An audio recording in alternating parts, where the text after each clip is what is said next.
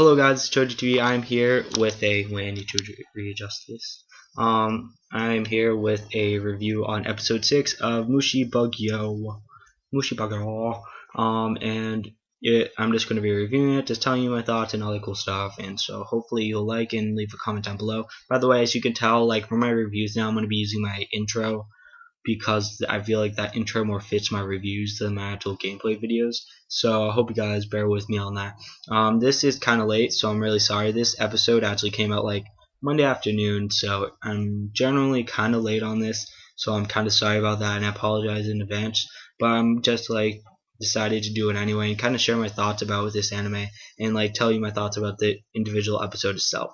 Um, this anime kind of gives off a Rurouni Kenshin kind of feel, so because it actually takes place right after Rurouni Kenshin, and this takes place in the um, Edo era, which is the early 1700s, if you guys didn't know.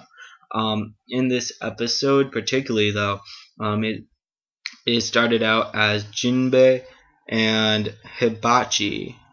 Hibachi, I'm hopefully pronouncing these people right.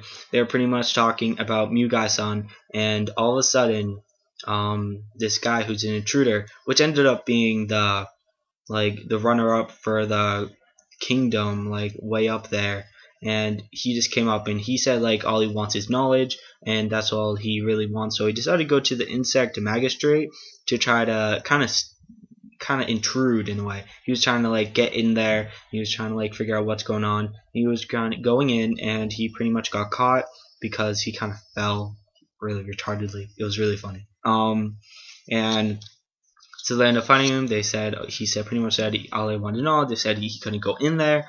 Um, and pretty much as he was walking back, Jimbo was um bringing him back. He decided, hey, I really don't want you to walk with me. So Jimbo kind of left him alone. As he was left leaving him alone, um, he runs into this guy who's pretty much getting his blood sucked by this um, big ass mosquito. Because in this, if you did, didn't know, this anime start in the Edo period. It's about the Edo period, um, but unfortunately, it's kind of weird and takes its own twist because it's about how like these steroid bugs, insects actually take over, and the insect magistrate's job is to beat the fuck out of them and kill them.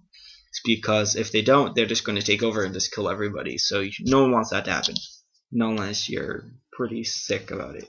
Um, so that was so that's pretty much what was happening. And also Jinbei saw it. He was like the guy who was getting attacked, which his name is Ishigi Sama, because you know he's high, really high up.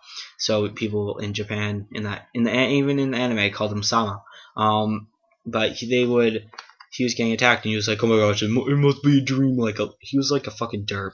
And then all of a sudden, uh, Jinbei was like, "Oh my gosh, gotta save you!" So pretty much he saves him. He actually sacrifices a part of his arm, kind of. It doesn't actually fall off, but he gets stabbed really hard, so pretty much he can't use his arm. It's like incapable of being moved. And all of a sudden, like he's like, "I need your help. I need your knowledge and shit." And so all of a sudden, he just like goes away. And he, Jinbei's like, "What the fuck are you doing? You're leaving me alone. I need your help, bitch." And then he comes back with like the thing. I forgot exactly what it's called, and he kind of spreads it around. It kind of makes the mosquito like, ah, no, what the fuck? And like he's like, dude, what the fuck is my eye, man? And then all of a sudden Jim is like, stab to the, I don't know, he just kind of sliced him in half.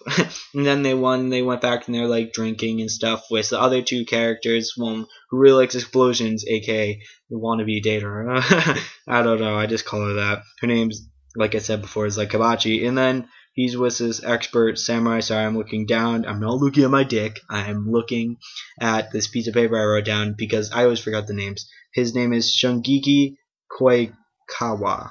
Yeah, that's his name. I'm sorry for pronouncing these like shit. And they pretty much party. All of a sudden, they fall. They all fall asleep.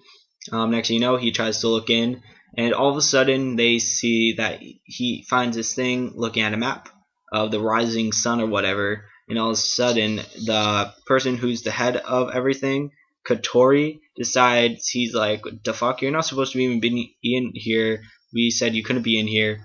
And he like slices the paper in half and he's like, don't speak a word of this. And we're still investigating the cause. And he's like, sure, as long as Jimba I can see Jimba because, you know, he's cool as Jimba I guess. And so that's how the episode ends. Um, I think this, I'm kind of curious about Um, I think this anime is going to be going in a different direction because at first it was just like, oh, let's see his Jinba's regular adventures, but now I feel like it's just going to be about how, um, I feel like there's something fishy going on. You can say, like I feel like something's going on that we're not aware of because nobody can seem to figure out how these like steroid bugs, and by steroids I mean these things are like tall as houses, even came into existence into this world. So nobody really even knows what's going to be happening, and we're just really, I'm personally wondering what the fuck is hap even like going to happen in the next episode because um I'm just it's like really in I wonder if like that he's going to keep his deal with Court Kotori and actually be able to um, keep it a secret from everybody that there's something up with everything. You know. Um. Anyway, please leave your thoughts down below about what you feel about Mushi Bugyo in the com. You know, leave your thoughts and stuff. And uh, please like and sub if you're new and all that cool stuff. Anyway, this Choji, I'm out, and this capsule was longer than I thought, but I hope you guys still enjoyed anyway and watched it all the way through. But this is Choji, I'm out, and I hope you guys have